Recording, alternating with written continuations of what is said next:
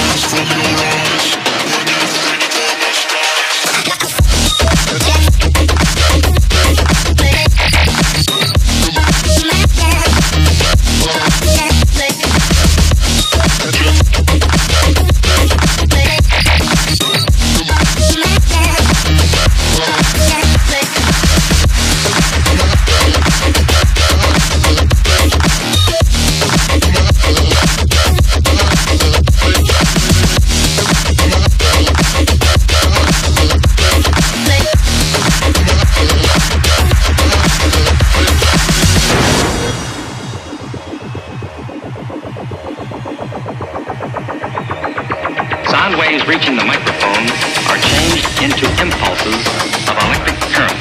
No need to worry about your pre-recorded music tapes being accidentally erased. It can't happen. Well.